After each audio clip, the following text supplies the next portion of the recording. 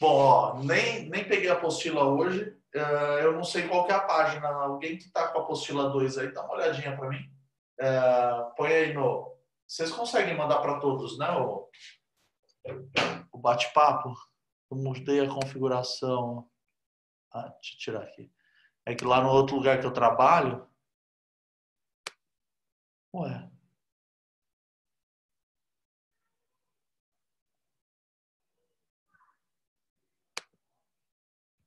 Apenas anfitrião e público. Agora vocês podem mandar chat para todo mundo.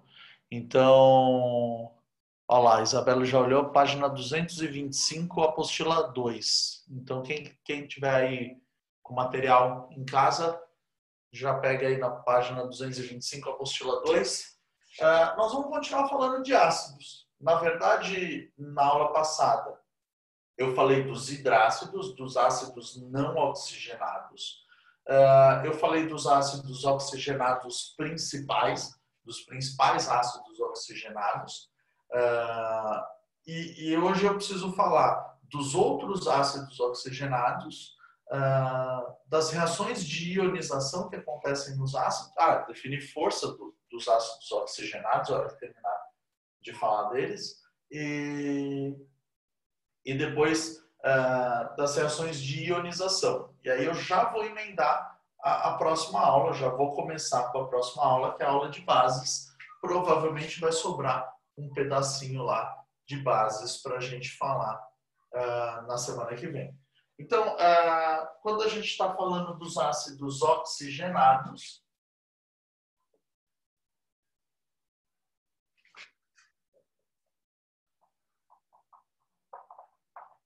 os ácidos oxigenados, eles têm uma fórmula geral, uma fórmula genérica.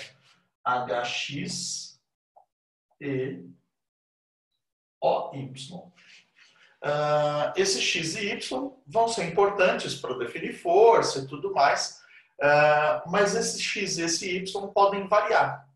A quantidade de hidrogênio e a quantidade uh, de, de, oxigênio num ácido oxigenado é variável. Por, pelos ácidos serem formados por ligações covalentes, uh, algumas ligações covalentes podem ser rompidas sem que uh, a gente perca estabilidade. Então, eu posso tirar um oxigênio, eu posso tirar uma água, né, dois hidrogênios e um oxigênio, sem fazer com que o ácido perca a estabilidade. Então, eu posso fazer algumas variações dos ácidos principais. Os ácidos principais uh, que estava lá na, na aula passada, lembra? Uh, não costumo beber clorofórmio, só pinga. Lembra da frase? Uh, deixa, eu, deixa eu pôr eles mais em cima aqui, ó.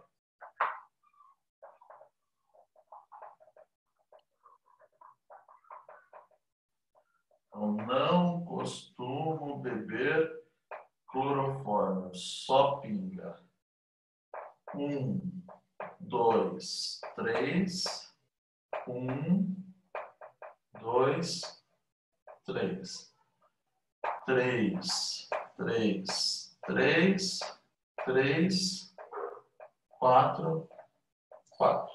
Então, os principais ácidos oxigenados ácido nítrico, ácido carbônico, ácido bórico, ácido clórico, ácido sulfúrico e ácido fosfórico. Eu falei os usos deles, né? Falei para que, que servia. O nítrico serve para fertilizante explosivo, o ácido carbônico está lá no refrigerante, todas as bebidas gaseificadas.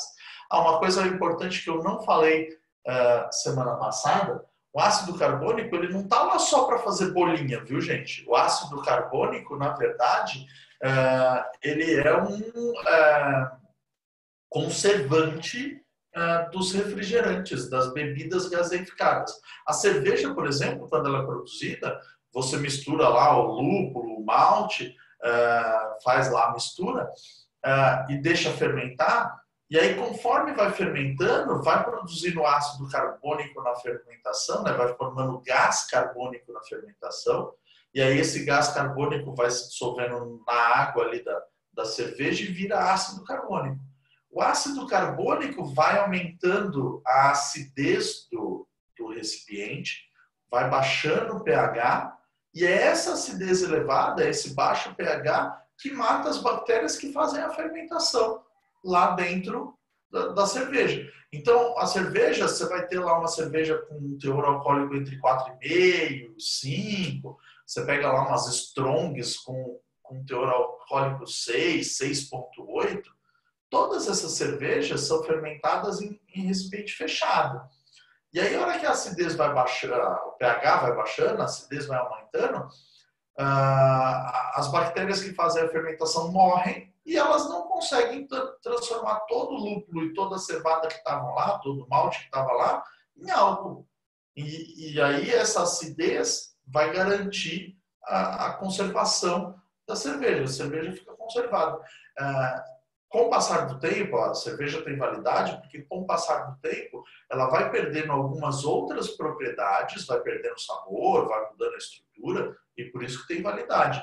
Mas enquanto ela ficar gaseificada, você não vai ter infecção de bactéria, alga, fungo, não vai crescer nada lá. Né? Outro dia eu estava vendo uma notícia lá que os caras acharam uma, umas garrafinhas de Coca-Cola, se não me engano, de 63, 65, um negócio assim umas garrafinhas fechadas de Coca-Cola lá no porão desde 1960, alguma coisa assim, da, da década de 60. Abriram, soltou bolinha lá e, e experimentaram, tava bom, né? Porque lá a Coca-Cola é altamente gaseificada, né? Então você tem uma concentração de ácido bem alta na Coca-Cola e esse ácido preserva, ah, né? Então não estava estragada, não estava podre, não estava gostosa, porque daí com o passar do tempo ela vai perdendo algumas propriedades, né? A açúcar vai cristalizando, então você vai perdendo propriedades, mas o ácido estando lá, ele vai continuar uh, fazendo a ação bactericida, fungicida e algicida dele. Então, tanto o ácido carbônico quanto o ácido fosfórico, quando usados em alimento, eles são usados não só por causa do sabor, por causa das outras propriedades, mas também pela função algicida e bactericida. O bórico, né, a gente falou lá sobre limpar o olho com água boricada. O clórico, ele não serve diretamente para nada, mas as transformações, que são as coisas que a gente vai estudar hoje, as transformações dele formam o ácido hipocloroso, que é importante é, com função algicida, bactericida. Né? Hoje a gente está usando muito né, água sanitária para desinfetar, inclusive lá com a questão do coronavírus. Eu, eu, vi ontem também na TV que o pessoal fez uma sanitização na, nas favelas no Rio de Janeiro. Uh, tudo com água com hipoclorito de sódio, que é um derivado do ácido hipocloroso. Uh, né? Então vai borrifando, o hipoclorito ele tem uma ação né, corrosiva, ele vai corroer lá a capinha de gordura do vírus e vai destruir o vírus. O ácido sulfúrico, sem dúvida nenhuma, é o mais importante para a indústria. Ele tem um alto poder desidratante, então ele causa desidratação. E aí, por causa desse alto poder desidratante, é, ele é usado em trocentos processos industriais. E o fosfórico, ele também é, é um acidulante comum dos refrigerantes e, ele serve é, principalmente lá como conservante para os refrigerantes do tipo cola. Bom, uh, dos principais ácidos oxigenados, que são esses aqui, né? então que a gente relembrou da aula passada, os dos principais ácidos oxigenados, eu posso fazer algumas alterações. Eu posso mexer na quantidade de oxigênio. Então, se o ácido oxigenado principal ganhar um oxigênio, gente, eu sempre ponho oxigênio entre aspas, não é porque ah, pode ser outra coisa, não. é só para diferenciar, para você não ficar. Depois, na hora que você lê mais 10. Ah, o que é mais 10 aqui que o Alvânio somou 10 no, nos ácidos uh, principais? Então, é mais um oxigênio. E a preguiça de escrever oxigênio é grande, né? Então, o, os principais ácidos oxigenados, quando eles ganham um oxigênio, eles vão virar ácido per e a terminação mantém nico.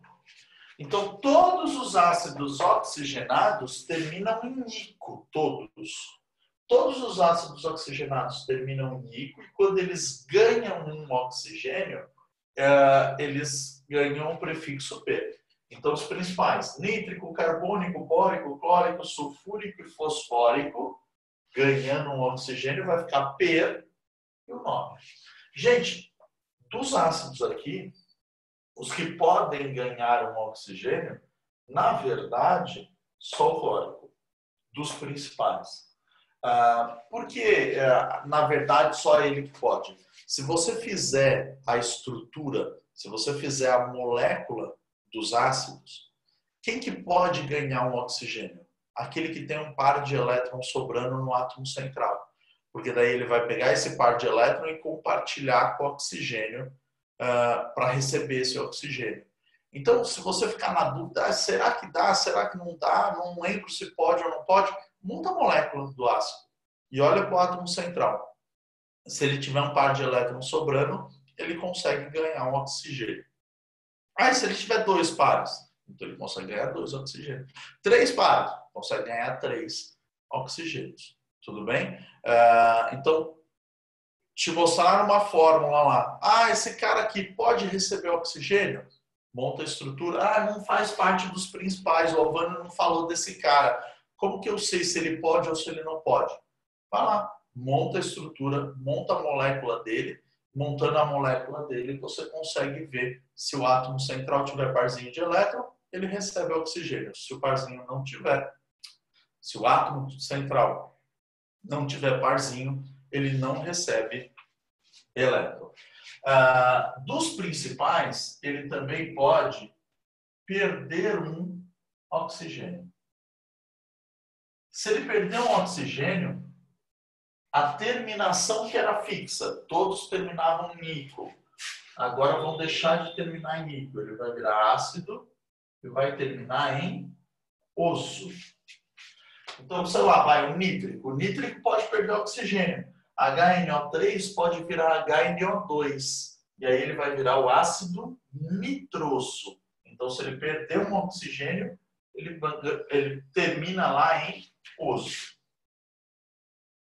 E se ele perder dois oxigênios, ou se o que termina em osso perder mais um oxigênio, uh, esse ácido vai ganhar um prefixo. Ele fica hipo osso.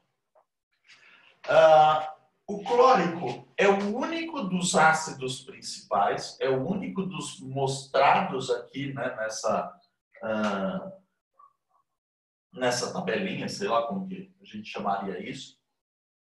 É o único que, que faz todas as transformações. Então, o ácido clórico, o ácido clórico pode virar perclórico, HClO4. Ele pode virar cloroso, HClO2. E ele pode virar hipocloroso, HClO. Dos ácidos principais, ele é o único que faz todas as transformações. Uh, vamos dizer assim que ele é o ácido mais versátil. Isso acontece porque ele tem sete elétrons na camada de valência por ele ter sete elétrons na camada de valência, o cloro, né, dos, dos, representados aqui, é o único que tem sete elétrons na camada de valência. Uh, o, o, cloro ele vai fazer uma ligação covalente, ele vai ficar com três parzinhos de elétrons sobrando. Então, o hipocloroso, que é o HClO, ele vai ficar com três elétrons sobrando. Então, aí ele pode ganhar mais um oxigênio, pode ganhar uh, mais um oxigênio virando principal e ganhar outro oxigênio. Então, como ele tem três parzinhos, o hipocloroso tem três uh, parzinhos, ele ainda pode receber três átomos de oxigênio. Então, o hipocloroso pode virar cloroso, pode virar clórico e pode virar perclórico, porque ele tem três pares de elétrons na camada de valência sobrando lá para se ligar com os átomos de oxigênio. Antigamente era o que a gente chamava de ligação covalente dativa, né? Então HClO ele é assim e ele tem três parzinhos. Né? Então esse aqui é o ácido hipocloroso, HClO. E aí ele tem três parzinhos sobrando. Então ele pode fazer uma dativa para um oxigênio, uma dativa para outro oxigênio e uma dativa para o outro oxigênio. É que hoje a gente não chama mais de dativa, né? O Márcio já falou isso com vocês, né? Vocês já tiveram ligação. Uh, hoje a gente chama de ligação covalente. E aí não fica nomeando o que é dativa e o que não é dativa. Mas aqui você tem três parzinhos disponíveis para se juntar com três oxigênios. Beleza? Tranquilo? Então, os ácidos principais podem sofrer três transformações: ganhar um oxigênio, perder um ou perder dois oxigênios. Ah, só isso pode acontecer com os principais? Não. Posso apagar aqui? Quer que eu, eu saia para dar um print? Quem está aí? Deu print já? Dá um print, manda para os amiguinhos no grupo. Vocês têm um grupo agora só de aluno, né? Não, não tem os professores. Aí manda lá no grupo que é só dos alunos. Minha cachorra tá atacada hoje. Ontem a Tamira resolveu reformar os, os vasos. Ela comprei terra, comprei os negócios que eu fui no, no mercado, aproveitei para comprar terra, comprei uns negócios para ela. Aí ela mexeu tudo nas plantas. Replantou, deixou os vasos tudo bonitinho tem dois vasos no chão. A cachorra já cavou todos os vasos no chão. A hora que ela acordar, vai ficar louca. Tem terra no quintal inteiro, a cachorra tá marrom. Vai acordar super feliz a Tamira.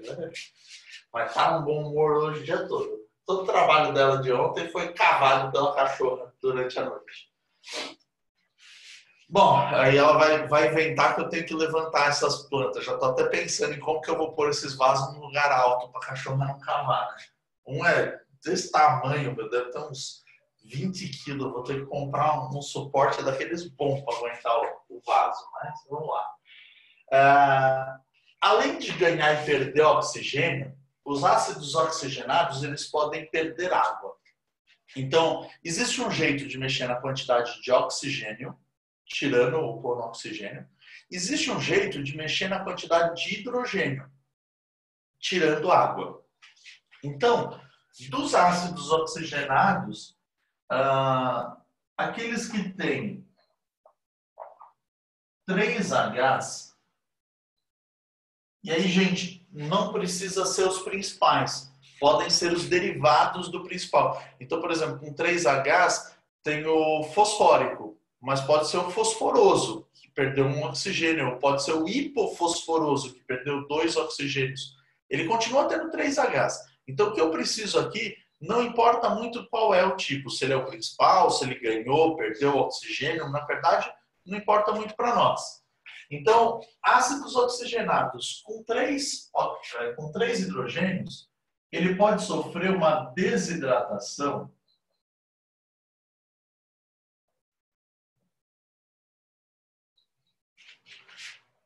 intra molecular. O que é uma desidratação intramolecular? Dentro da própria molécula. Gente, ó, já, já guarda esse nome, porque, putz, em orgânica, o Márcio vai falar de desidratação intramolecular, intermolecular, trocentas vezes. Existem várias reações orgânicas que dependem de desidratação. Então, já guarda esses nomes. Desidratação intramolecular dentro da própria molécula. Então, sei lá, vou pegar aqui o H3PO4. Desidratação, ele vai perder uma água.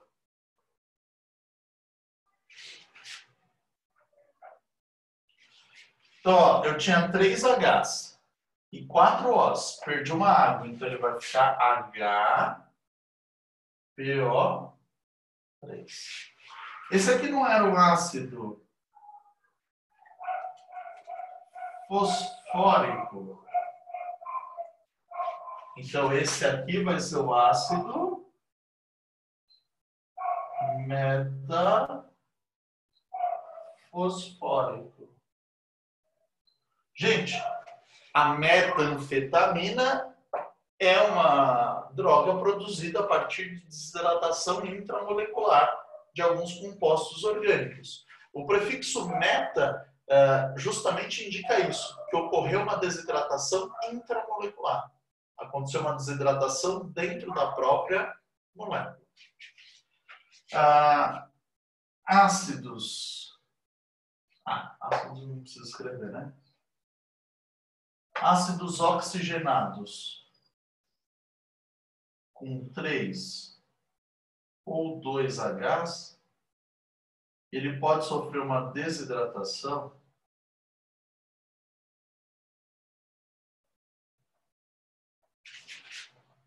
intermolecular. Ah, meu, é um negócio bizarro da quarentena. Eu nunca, eu não consigo mais lembrar para que sala que eu falei alguma coisa. Eu não lembro de verdade se foi com vocês que a gente estava conversando sobre polímeros semana passada. Eu falei sobre alguma coisa sobre polímeros com vocês semana passada? Porque não, agora todas as salas têm exatamente a mesma característica. O meu o meu quartinho aqui da bagunça e o meu computador. Então, gente, é, ó, isso eu vou falar para vocês, é um efeito bizarro da quarentena. Eu nunca fui uma pessoa organizada, nunca fui. Agora eu tenho um bloquinho de notas.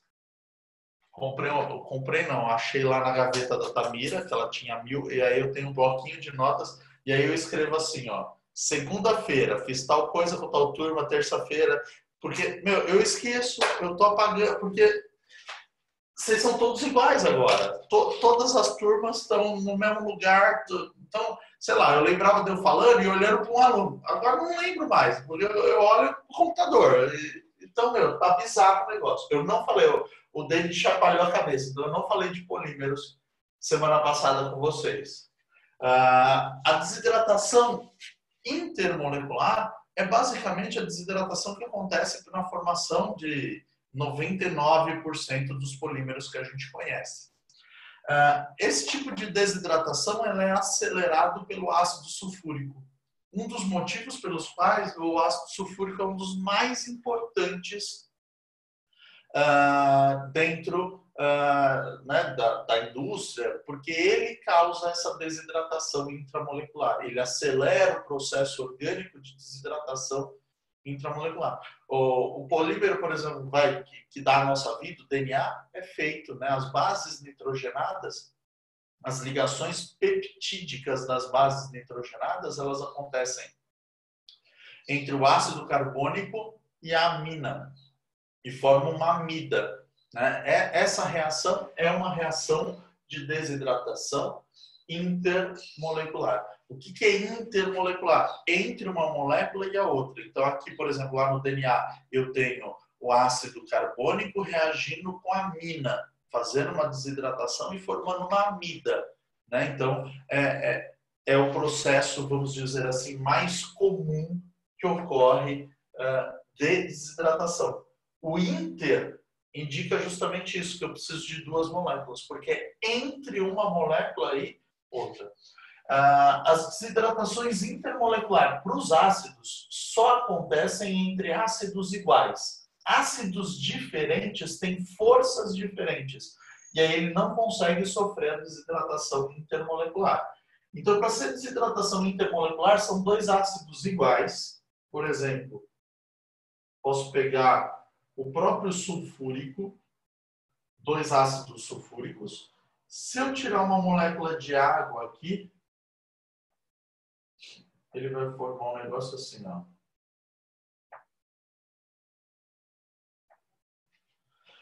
H2S2O7.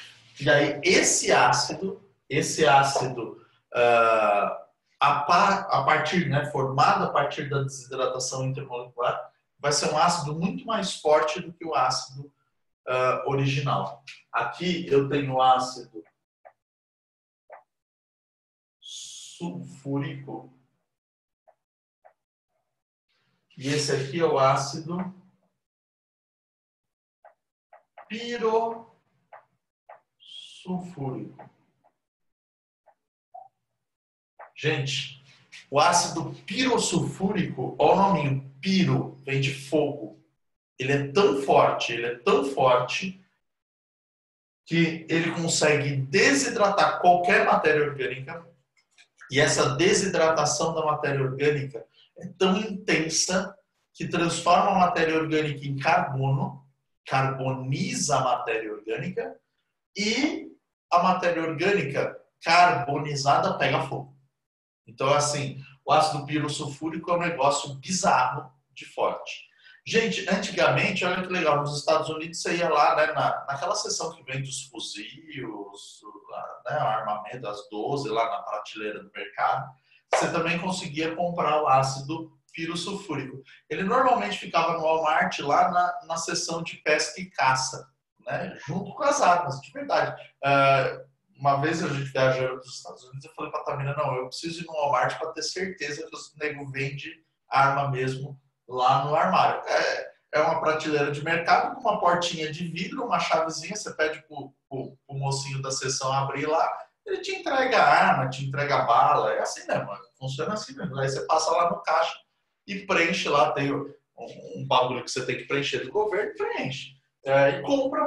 Né? O, o, ácido pirosulfúrico era vendido ali também, né? nessa pegada. Uh, ele vendia, eles eram vendidos em, em potinhos de 10 ml, era um tubinho com 10 ml de ácido pirosulfúrico para você acampar. Então, se está acampando lá e está chovendo, você só tem lenha uh, úmida, você só tem matéria orgânica úmida para queimar, você não consegue pôr fogo. Aí, o que, que os negros faziam lá no acampamento? Faziam um telhadinho, juntava um monte de lenha lá, úmida, molhada da chuva, não tinha problema, e jogava os 10 ml de ácido pirosulfúrico. Ele se dissolve na água, é, é, ele era um ácido concentrado, então ele se dissolvia na água, ele dissolvia na água, ele começava a ionizar, liberar íons H+, ah, esse ácido ionizado começava a desidratar a matéria orgânica, carbonizar a matéria orgânica, esse processo todo liberava uma grande quantidade de vapor, a água que estava ali na superfície evaporava e começava a pegar fogo. Então, uh, com 10 ml de ácido pirosulfúrico, você consegue começar uma uh, fogueira a partir de galhos molhados de árvore.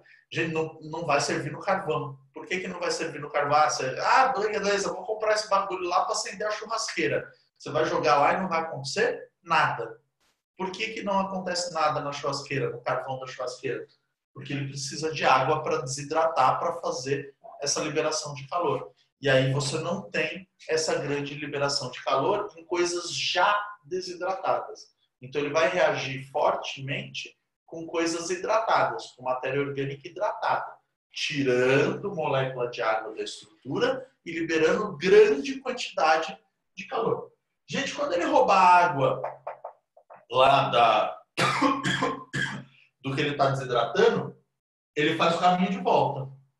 Então, o piro sulfúrico rouba água para voltar a ser o quê? Sulfúrico.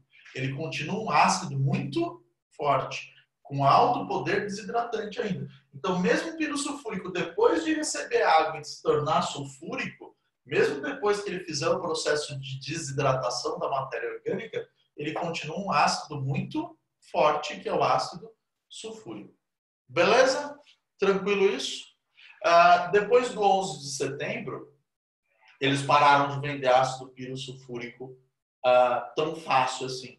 Por quê? Como ele desidrata a matéria orgânica, se você pusesse um vidrinho de 10 ml, você pode entrar no, no avião com coisas até 50 ml, certo? Se você puser um vidrinho de 10 ml disso dentro da sua bagagem lá, é, você, pode, você vai cometer suicídio, mas você pode começar um incêndio dentro uh, num avião com 10 ml de ácido pirosulfúrico. Você joga os 10 ml em cima, por exemplo, da sua roupa, que é material orgânico, ela vai desidratar e vai começar a pegar fogo na roupa e você consegue causar um incêndio uh, de grandes proporções com 10 ml de ácido pirosulfúrico. Então aí ele foi banido do mercado. Eu, quando eu fui, já tinha ido 11 de setembro, eu não vi o ácido pirsulfúrico. Tinha rifle lá, né? Tinha bala para matar elefante nos rifles. Né? Então vendia lá balas especiais para matar elefante nos rifles, mas não tinha ácido pirsulfúrico à, à venda no Walmart. Posso apagar tudo? Posso. É, professor, Oi? desculpe, eu não consigo levantar a mão por causa que eu sou co-host. Mas, então, é, eu queria saber se, tipo, o caráter do ácido, é, ele muda de acordo com as derivações ou não? É, na verdade, a gente vai estudar daqui a pouquinho as forças, é a próxima ah, tá. lousa. Ah, tá. Justo, e, desculpa. Então. E aí vai mudar. É, daí você vai perceber que, como muda o nome, porque muda ou a quantidade de oxigênio ou a quantidade de hidrogênio, vai, vai mudar as forças, então vai mudar uh, as características do ácido de acordo com o nome, sim. Ah, tá. Uh, Obrigado, professor. Nada, imagina, cara. Uh, o fogo produzido por esse ácido é mais fácil de apagar. Não, é, é... A, a, Tamira saiu. É, essa é a felicidade da cachorra em ver a Tamira. Todos os dias de manhã é exatamente a mesma coisa. É... o, fogo produzido por esse ácido é mais difícil de apagar. É, na verdade, Sara, é assim. É, por ser um ácido, na hora que você joga água em cima desse ácido, ele ioniza, ele libera íons H+, e, e aí ele espalha. Então, ele aumenta a área de atuação dele.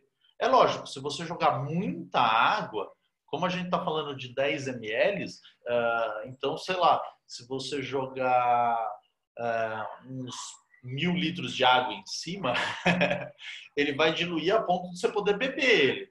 Né? Então, uh, mas assim, conforme você vai jogando água, ele vai reagindo mais. Né? Uh, se você jogar pouca água, na verdade, você pode facilitar o espalhamento desse ácido e a reação desse ácido.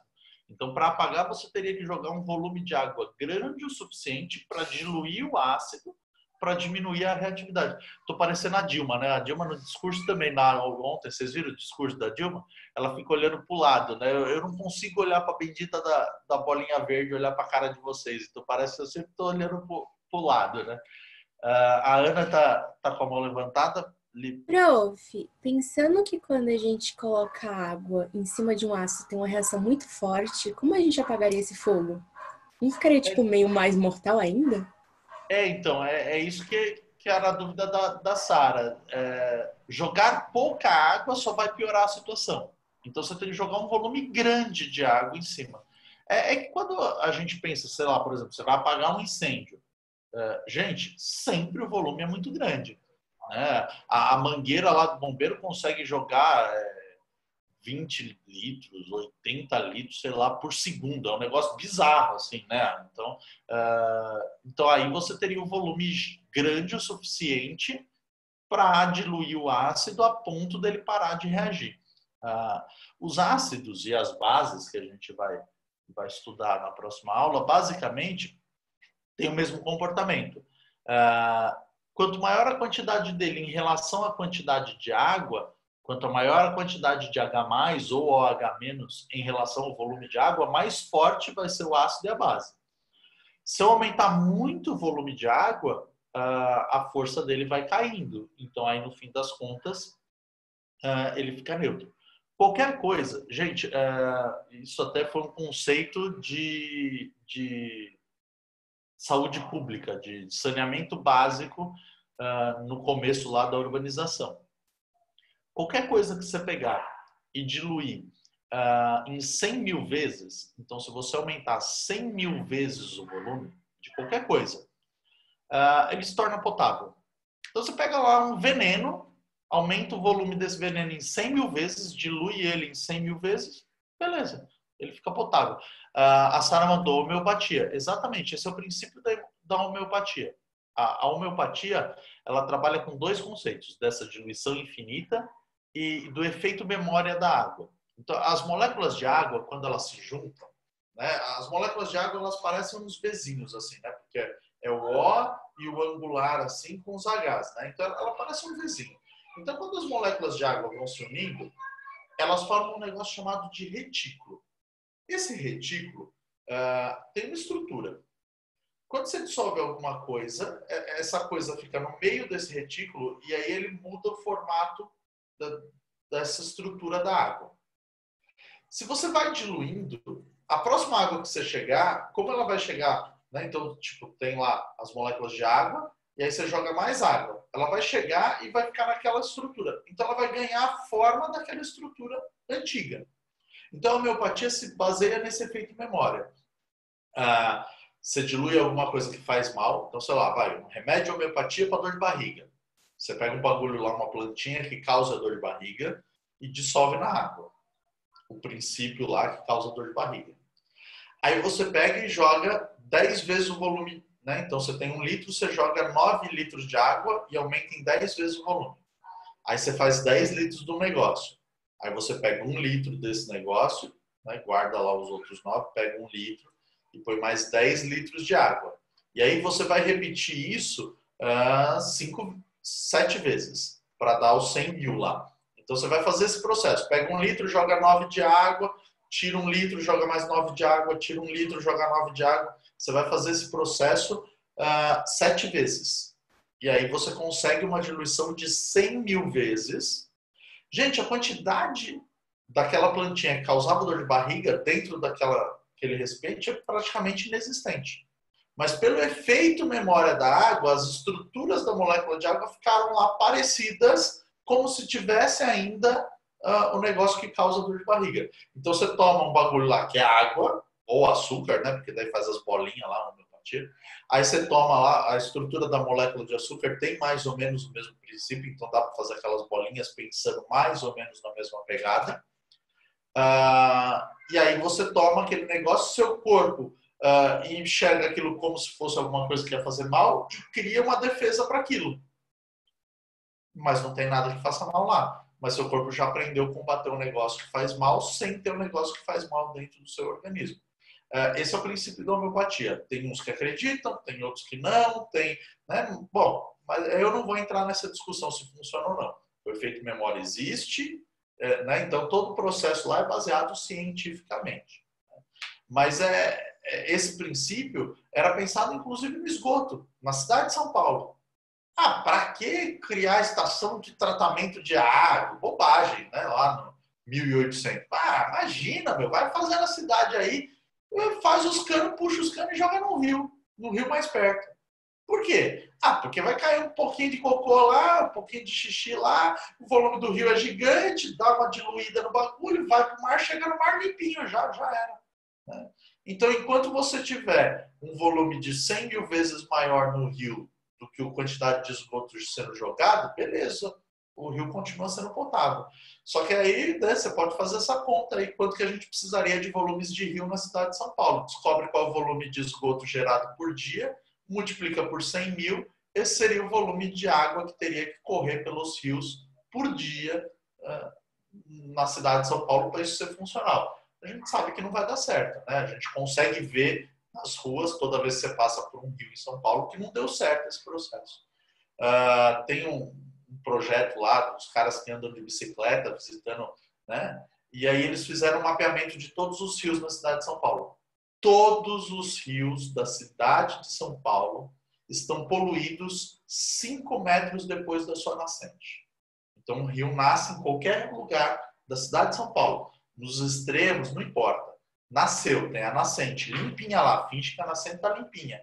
No máximo, 5 metros depois da nascente, todos os rios da cidade de São Paulo já estão poluídos e não podem ser, né, a água dele não pode ser consumida. É um negócio bizarro. Tem alguns que, que já a nascente está poluída. Mas, assim, vamos dizer, na melhor das hipóteses, os primeiros cinco metros do rio são potáveis. O resto já era. Então, assim, é bizarro. A gente com, esse, né, com essa mentalidade de, de saneamento lá da, de 1800, uh, ah, a gente acabou destruindo todos os recursos hídricos de uma cidade inteira. São Paulo não precisaria de reservatório, a gente não precisaria ter um, uma represa Billings, uma represa Guarapiranga para armazenar água. Se todos os rios de São Paulo fossem tratados e limpos, a gente conseguiria coletar água do rio, né, fazer o tratamento para. Né, mas você teria pequenas estações muito mais barato nos bairros, coletando água do rio ali do bairro e, e fornecendo água. A gente não precisaria de reservatórios na cidade de São Paulo se os rios não fossem poluídos. A gente teria recurso hídrico suficiente. Na verdade, a gente teria recurso hídrico de sobra na cidade de São Paulo se só os rios fossem poluídos, é, despoluídos. A gente não teria problema nenhum de falta de água em São Paulo se a gente conseguisse despoluir os rios de São Paulo. Mas, né, para quem que é interessante fazer isso? Sei lá, né? Então, eu desde sempre escuto que vão despoluir o Rio Tietê e o Rio Pinheiro. Né? Entrei na USP em 2001, existia lá um, dentro da, da Poli, existiu, deve existir até hoje, né? É um grupo que estuda como despoluir o Rio Pinheiros e o Rio Tietê. Ficam lá estudando, tem trocentos mil jeitos diferentes para fazer isso e nunca acontece, né? Eu entrei em 2001, já é 2020 e, e é só projeto. É, ah, puxa, mais cinco anos, mais dois anos. Né? E continua lá, poluído. Beleza, gente? Tranquilo isso aqui? Posso pagar?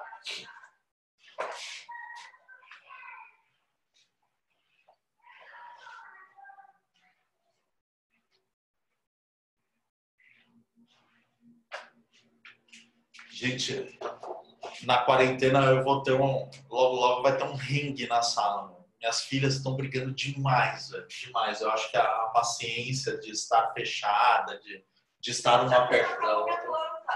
É, você viu que bonitinha? Olha lá, a Tamira acabou de descobrir que a cachorra cavou a planta dela. Ah, bom, ó, vamos lá. Agora tô, tô rindo da cara da, da Tamira tá pra mim aqui. Não, é, é uma vira-lata, meu. Não pode deixar sacolinha de lixo, essas coisas que ela, ela abre, rasga. É, vira-lata. Cavou por terra. É, ela vai dar bronca na cachorra daqui a pouco, só para vocês não escutarem. É. Eles estão aqui ansiosos, amor, pela sua bronca na cachorra. Ó, o, os ácidos oxigenados, a gente consegue definir força sem fazer aquela conta do alfa. Lembra semana passada que a gente falou do alfa? Para medir força dos ácidos? Uh, os ácidos oxigenados, a gente pode fazer uma conta muito mais simples do que a do alfa. Tudo bem que o alfa é uma regra de três. Também não é nada, ah, nossa, né? Você tem uma escala de maior e menor. Então não é nada fim do mundo também calcular o alfa. Mas os ácidos oxigenados, você pode medir a força deles a partir de uma continha y menos x. Aquele y e aquele x. Então, se você pegar o número de oxigênios e subtrair do número de hidrogênios, e esse resultado for maior que 1, ele é forte. Se ele for igual a 1, ele é moderado. Uh, moderado agora a gente chama de semi-forte também, tá, meu? E se ele for menor do que 1, ele é fraco. Professor. Oi, quem me chama? É o Breno. Esse Y menos X é oxigênio menos hidrogênio, é isso? Isso, é aqui, ó. O número de oxigênio menos o número de hidrogênio. Ah, beleza, obrigado. Nada, imagina. Ah, aqui, ó, desse, do, do, fraco a gente tem uma exceção. O H2CO3. Faz a continha. 3 menos 2 dá 1. Ele deveria ser moderado. Então, o único ácido que não obedece essa regra, então todos os ácidos oxigenados obedecem essa regra. O único que não obedece é o H2CO3. Por que, que o H2CO3 não obedece essa regra? Aí eu já vou antecipar a próxima uh, coisa que a gente vai falar, que é a ionização. Uh, o H2CO3, se a gente desenhar a molécula do H2CO3, é um negócio assim. Ó.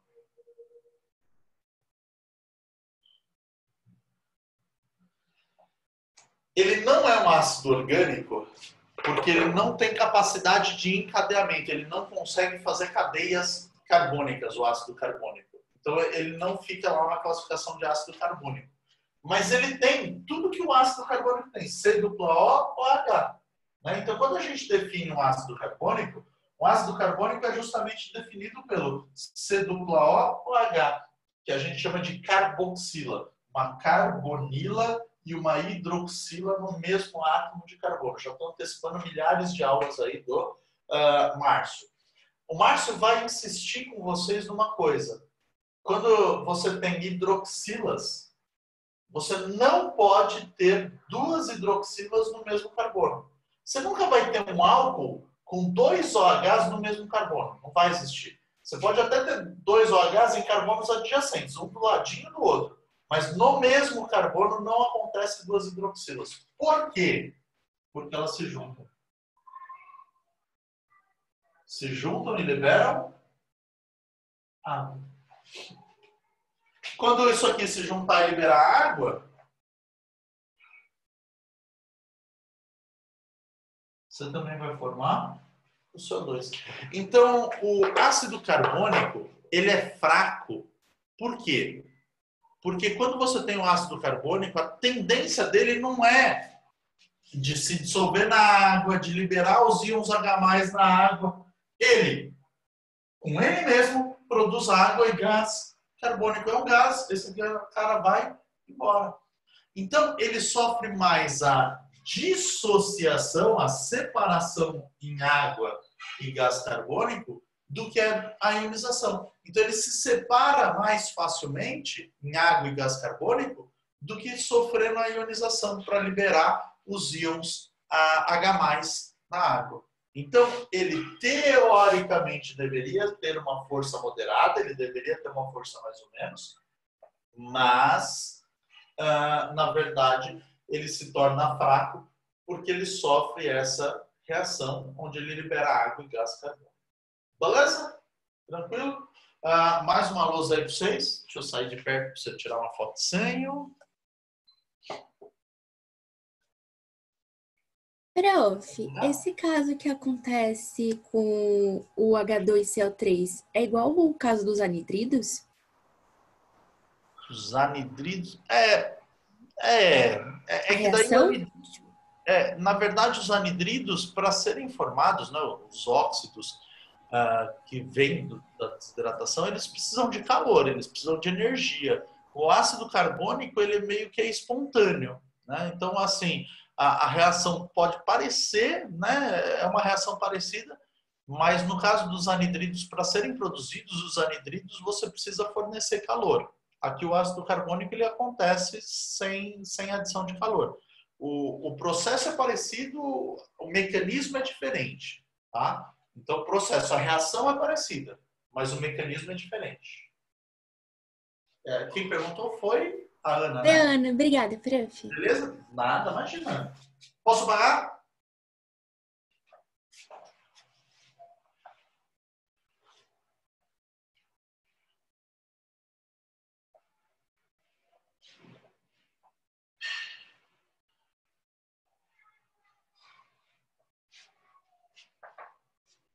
Bom, gente, a gente já falou de ionização de ácidos sem ter dado a aula de ácidos. Lá na primeira aula do, do Arrhenius, a gente já falou de ionização. Como que acontecia a ionização dos ácidos. Uh, agora que a gente conhece os ácidos, vamos, vamos estudar mais a fundo a ionização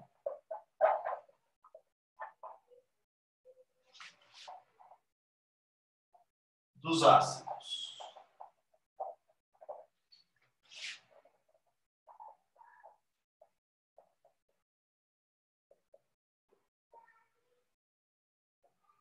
Quando o ácido não tem oxigênio, não tem O na estrutura, os hidrácidos,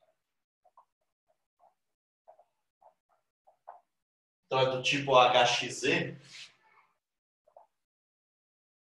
todo H é ionizável. Todo hidrogênio pode virar H+. Então, os ácidos que não têm oxigênio, todo H pode virar H+. Todo H é ionizado. Então, sei lá, se eu pegar o HCl, jogar na água, ele vai virar H mais aquoso. E Cl menos aquoso. É, jogando na água, né, gente? Se eu pegar o H2S e jogar na água, eu vou ter 2H+, e os, o S, 2 menos A. Então, gente, quando eu tiver ácidos não oxigenados, se eu tenho um H, ele vai liberar um H+. Se eu tenho dois Hs, ele vai liberar 2H+. Se eu tenho 3 Hs, ele vai liberar 3H+, e assim por diante. Os oxigenados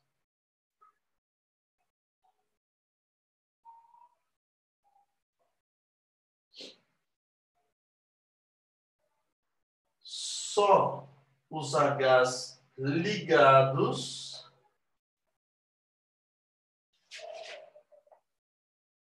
a oxigênio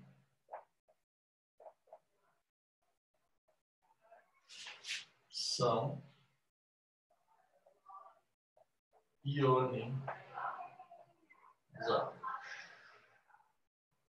Então, ah, quando você tem oxigenado, para o H virar H+, não é qualquer H do ácido que vai virar H+. Ele precisa estar ligado no oxigênio. Então, aqui, uh, infelizmente, ou felizmente, porque daí tem poucas exceções, você teria que desenhar a estrutura para saber qual H vai virar H+, e qual H não vai virar H+. Gente, regra geral, trabalha com os oxigenados igualzinho os não oxigenados. Todo H vira H+. Quem que não vai ionizar? Quais são os ácidos oxigenados que vão ter Hs não ionizáveis, que vão ter Hs que não vão virar H+. São só dois. O fosforoso e o hipofosforoso. Então, assim, basicamente, os oxigenados vão se comportar igualzinho os não oxigenados todo H vai virar H+. Pronto, acabou, resolvido o problema. Dois caras, não. O ácido fosforoso e o hipofosforoso. Então, gente, como são dois de sei lá quantos ácidos oxigenados, então aqui é uma regra. Só os Hs ligados ao oxigênio são ionizáveis. Só os Hs que estão ligados no oxigênio vão virar H+. Mas, de forma geral, todo H do ácido está ligado ao oxigênio. Então não tem problema. Quem que não vai ter gases ionizáveis? O fosfórico, uh, o fosforoso e o hipofosforoso. Gente, uh, vocês estão anotando? Não sei como vocês estão fazendo. Copia para eu apagar, eu vou continuar daqui. Então é como se, se eu né, pusesse isso aqui, vou pôr isso aqui em cima e vou, vou fazer mais uma lousa. Senão vai ficar muito apertadinho aqui, eu não vou conseguir escrever. Então, ó, copia e eu vou. É como se fosse um caderno, continuar embaixo. Tá bom? Plus.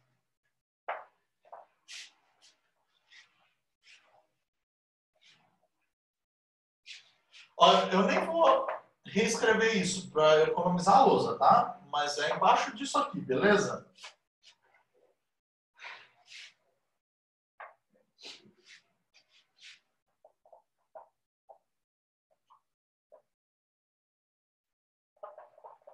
Então, como que ficaria o H2SO4? O H2SO4, se você montasse a estrutura dele, seria um negócio assim, ó. Então, esse H do H2SO4 está ligado ao óleo ionizável. Esse H do H2SO4 está ligado no O, então ele é ionizável. Ah, dos oxigenados, normalmente, eles separam em primeira e segunda ionização. Então, o H2SO4, quando você joga ele na água, ele libera um H+, e forma o HSO4 menos. E aí o HSO4 menos em água libera outra H+, e aí forma o SO4, 2 menos. Eu chamo isso de primeira ionização. Chamo isso aqui de segunda ionização. E se eu somar as duas reações,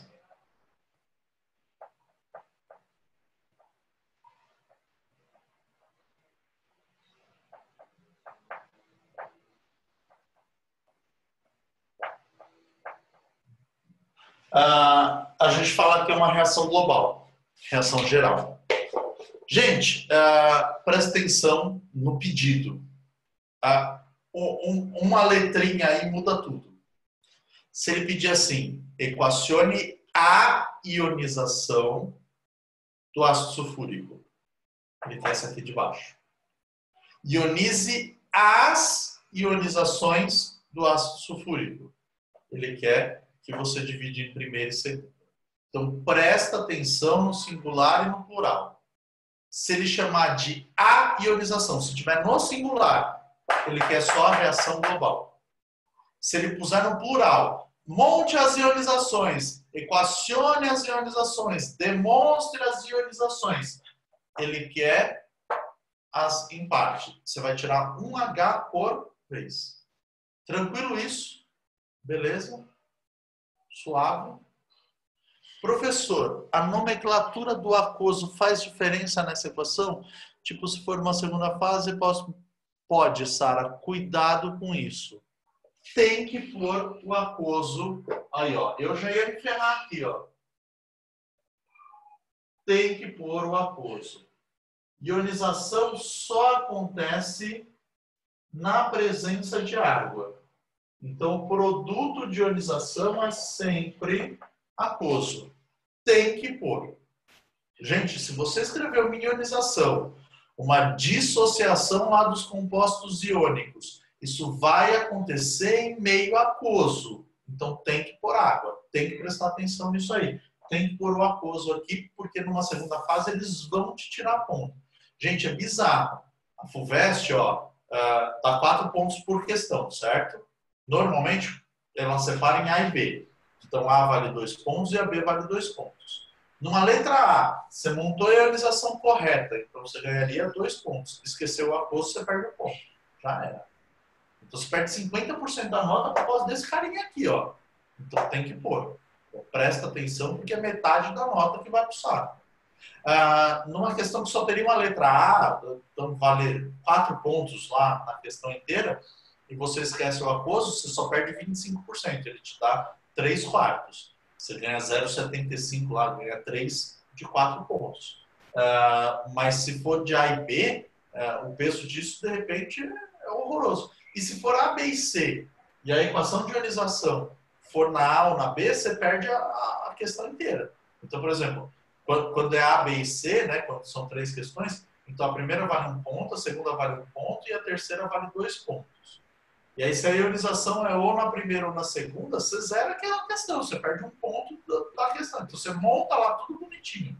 E esquece o aquoso, vai a questão inteira pro saco. Então, presta atenção. Precisa pôr. É a mesma coisa quando ele fala, ah, os gases fulano e ciclano reagem. Pô, ele falou que é gasoso. Então, ele quer que, se você puser na equação, ele quer que você ponha o Gzinho lá do lado. Então, presta atenção. Se o enunciado te deu o estado físico, você tem que representar o estado físico na equação. Quando você for montar ionizações e dissociações, elas só acontecem em meio aquoso. Você tem que pôr o aquoso no produto. Então, essas coisas são importantes. Porque senão é, é 0,25 aqui, é, e aí, meu, 4, 5 pontinhos lá, uma questão, 200 negros te passaram. Né? Então, ah, às vezes, dois aquosos desse aqui, te tira a vaga. Então tem que tomar muito, muito cuidado, porque conta mesmo. Uh, posso apagar aqui? Continuação professor, ainda. Professor.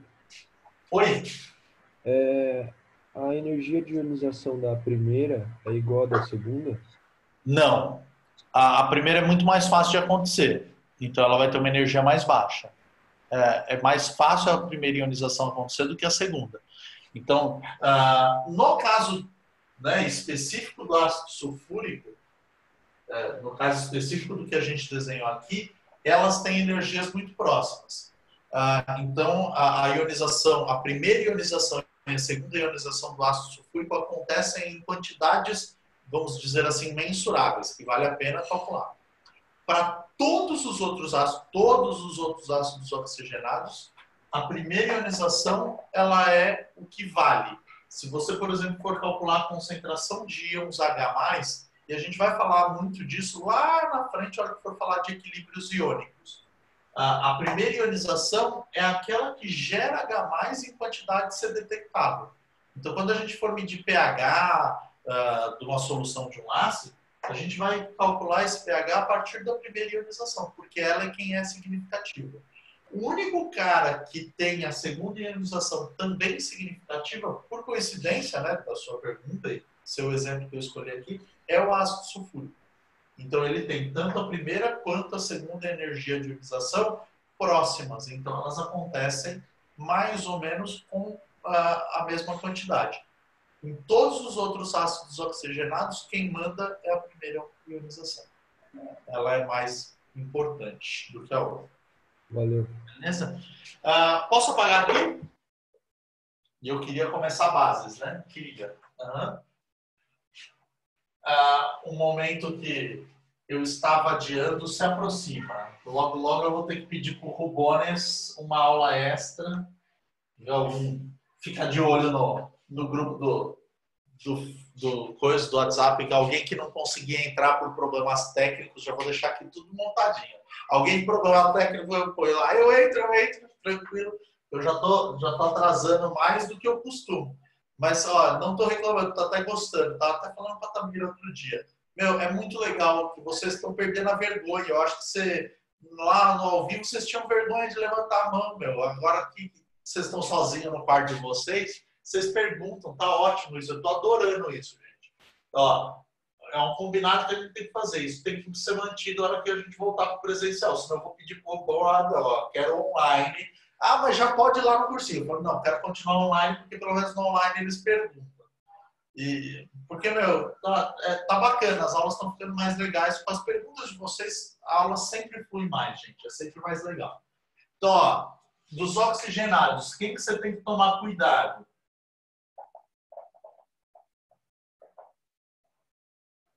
O H3PO3, que é o ácido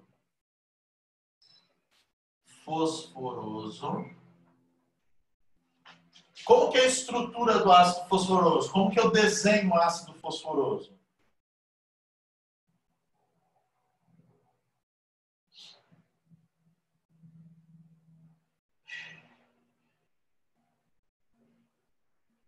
O ácido fosforoso é um daqueles caras que sofrem a expansão do octeto. Ele fica com 10 elétrons na camada de valência.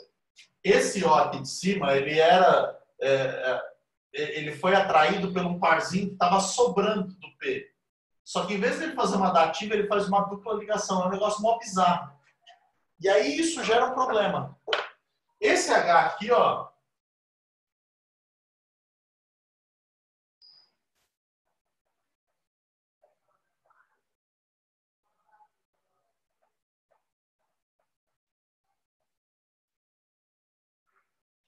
Então, o ácido fosforoso, ele tem um H não ionizável. Ele tem um H que não vai sofrer ionização. Por quê? Por causa dessa porcaria da expansão do lado do P. Por ele fazer uma ligação dupla aqui não fazer uma ligação simples. E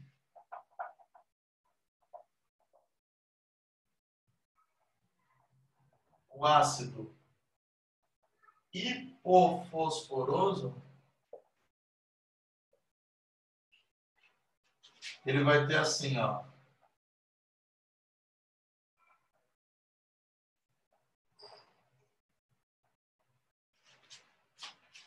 E aqui o mesmo esquema.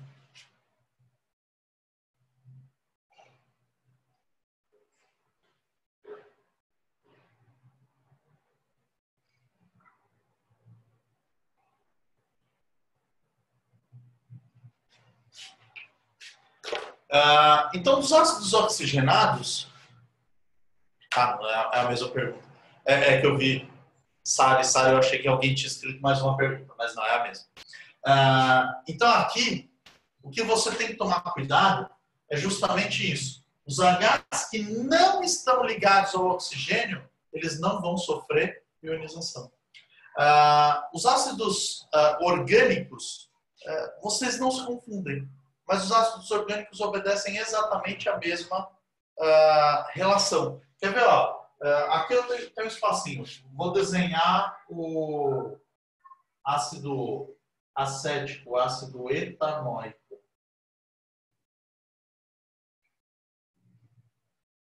Quantos Hs ionizam no ácido etanóico, no ácido acético? Só um. Ah, mas e esses três aqui? Esses três aqui você nem pensa neles. Porque é composto orgânico. Então esse CH3, você sabe que esse H não vai ionizar. Então quem é ionizável aqui? Só o H do C duplo O, H.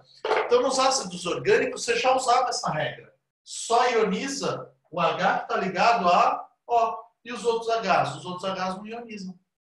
Ah, é um ácido, é um ácido orgânico. E os hidrogênios ligados a carbono não sofrem ionização. O único que sofre ionização é o H do oxigênio. Tranquilo isso? Beleza? Gente, deixa eu, deixa eu, eu uns minutinhos ainda, né? Deixa eu abrir os, os exercícios aqui. Vou compartilhar a tela com vocês. Só um segundo, tá? Cadê a apostila 2? Já estou voltando aí. Vocês continuam vendo minha cara, né?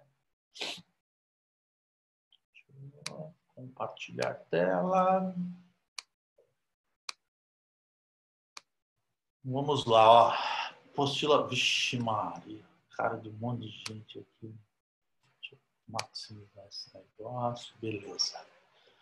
Ó, agora o, o, chat sumiu aqui. Bom, se você quiser perguntar alguma coisa, abre o, o áudio em vez de. Ah, consigo maximizar. Beleza. Um. Uh, o nome dos ácidos apresentados a seguir são respectivamente. Então, qual que é o nome desses caras? H2SO3. O H2SO4 é o sulfúrico, o SO3 perdeu um oxigênio, então é sulforoso, ácido sulforoso. HClO4, o ClO3 que é o normal, né, que é o principal. O ClO4 é o perclórico. H2S não tem oxigênio, então tem que terminar em hídrico, é o sulfídrico, e o H3PO4 é o fosfórico, letra A de alvânio. Beleza? Tranquilo esse? Só nominhos aí, tranquilo? Sem problema? Dois. Vejam os produtos: água de bateria, água mineral com gás e ácido muriático. Gente, água de bateria é água com ácido sulfúrico. As baterias antigas, elas tinham chumbo e o, a, a ponte salina, é, vocês ainda não aprenderam pilhas, né? Mas os eletrodos lá da, da pilha era chumbo e cádmio. E a ponte salina era feita de ácido sulfúrico. Gente, isso é, é bem velho, né? A água de bateria, há muito tempo atrás, era o ácido sulfúrico.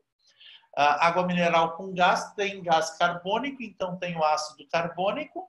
E o ácido muriático é o ácido do nosso estômago, o HCl. Então, sulfúrico, carbônico e clorídrico. Letra E de Exu. Beleza? 3. Faça a associação seguinte: H3PO4. Quem é o H3PO4? Fosfórico. H3PO3, fosforoso uh, H3PO2 hipofosforoso. Então, fosfórico é o A. Cadê? Ah, vou anotar. Entendeu? Hora. Fosfórico.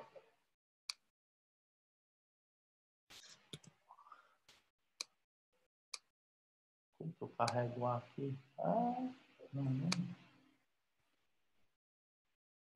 Dá para carregar, eu tinha aprendido. Prof, encurta esse retângulozinho, faz virar um quadrado que você consegue mover, porque tá com muito espaço.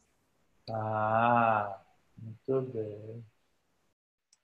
Assim, e aí eu consigo mover? Ah, mas ele não. Ah. Gostava. Outro dia me senti mó high-tech. Consegui carregar e fazer.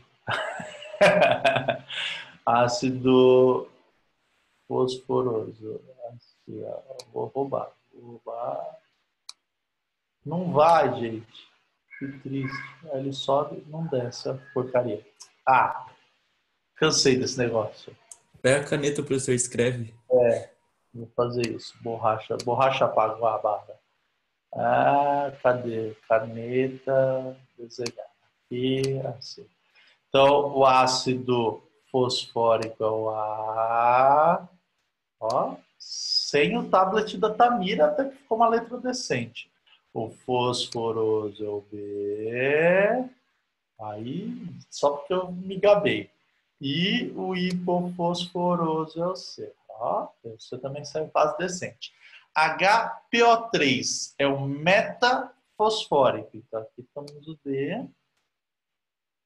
E o H4P2O7 é o pirofosfórico. Então, aqui temos a letra P. O fosfórico é, é, quase que nem o clórico, ele pode sofrer praticamente todas as alterações. O único que não existe é o perfosfórico, né? mas os outros existem todos. Ah, agora eu preciso parar de anotar para conseguir mexer. É. Ah, droga. Bom, vamos deixar aqui, vamos fazer o 4. 4. Faça a fórmula estrutural dos seguintes ácidos: ácido clórico Vixe, a fórmula estrutural, gente. Vamos desenhar. Ácido clórico. Ó, aqui tem um espacinho em branco. Como que é o clórico? HClO3. Então, H... O... Cl... Nossa, ó... Ave. E ó, HClO3. Ácido sulfúrico. Bom, a gente já fez o sulfúrico, tá lá na lousa. Ah, não, a gente já apagou da lousa, mas é HOH sulfúrico. Ave Maria. Ó. Vai bater no outro. Olha que serviço. Olha. Esse. Ó. H. Ó. E ó. Viu? Quem disse que não ia ter espaço? Nítrico. H. NO3. Ó. Ó, o Breno, só porque tá fazendo aniversário, tá me atrapalhando aqui, ó. Tá a carinha do Breno lá, o quadradinho do Breno. É, e...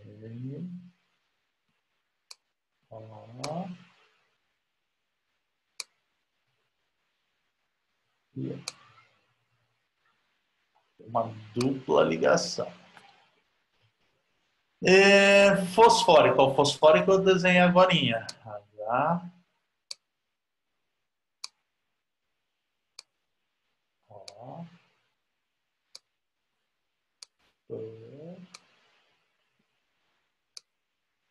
Ah, como tá?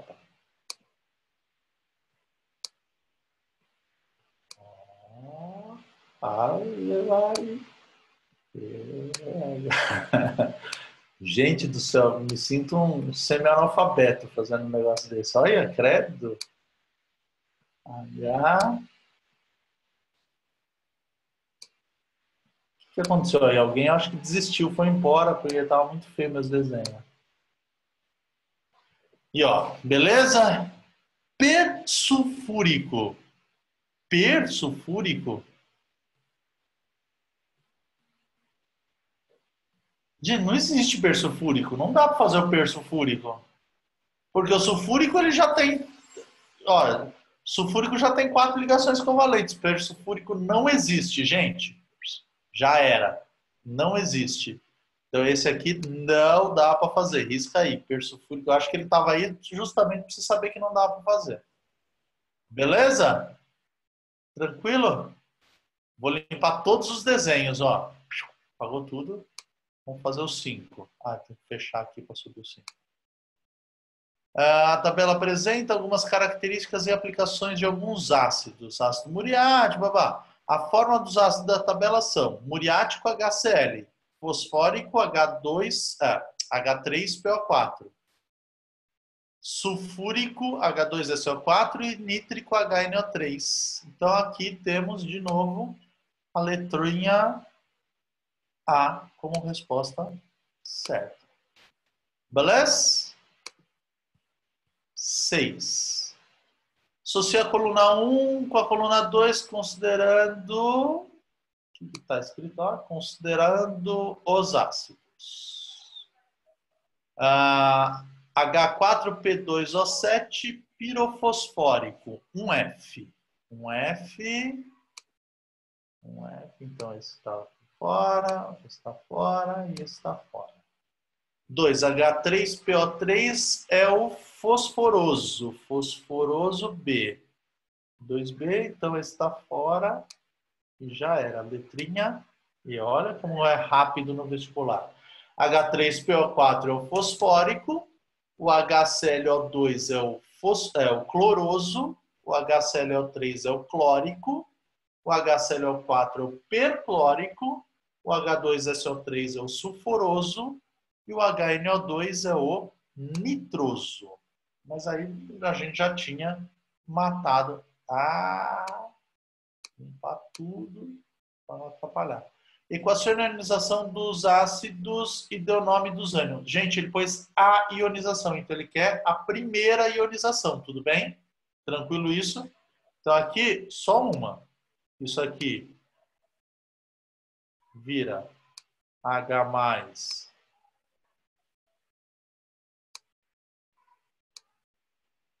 Ih, não fez o maisinho aqui? Cadê minha caneta? Sumiu.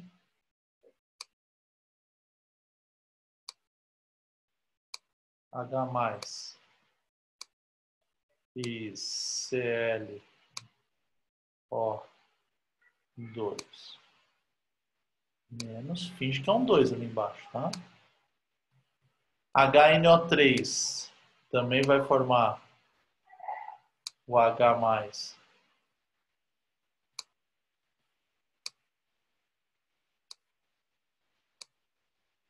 E o N Ó.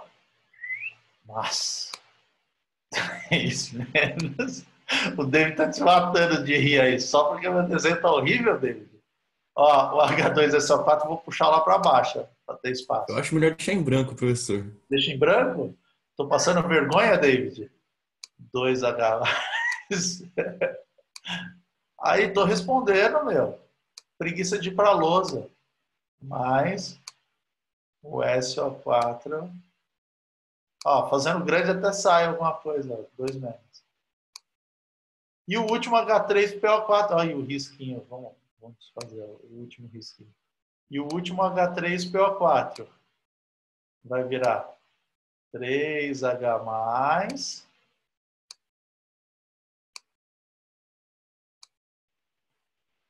e o PO4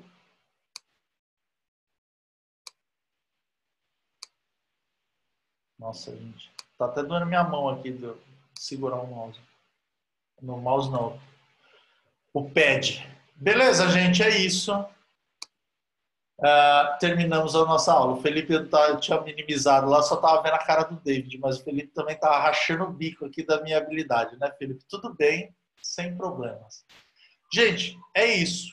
Tranquilo? Consegui terminar essa aula. Queria começar de base, mas semana que vem eu falo só de bases.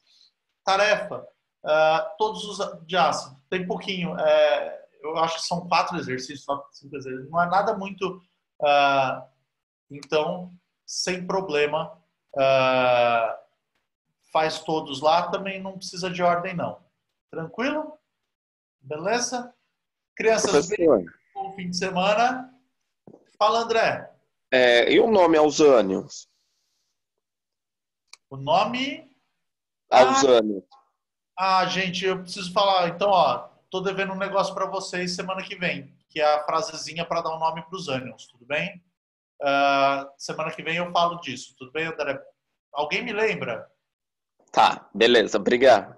Beleza. A, a, a Luísa perdeu a seis, gente. Qual que é a seis? Letra A, Luísa. É que eu Não, tava... vocês é E, professor. A seis é E? Aham. Meu Deus, letra E. Obrigado, David. Ah, letra E, Luísa. A Luísa tá aí ainda? Tá. Então, letra E. Crianças, beijo, bom fim de semana para vocês. E até semana que vem. Tchau, professor. Obrigado. Tchau, E tchau. treina aí na escrita, hein? Porque tá feia a situação, desculpa. Não, vou, vou pegar o tablet e a canetinha nova da Tamira. Agora ela tá toda fresca lá com a canetinha nova, ela não erra uma palavra. Vou roubar dela para dar aula. tchau, tchau, gente. Até. Tchau, professor. Bom final de semana. Obrigado, você também.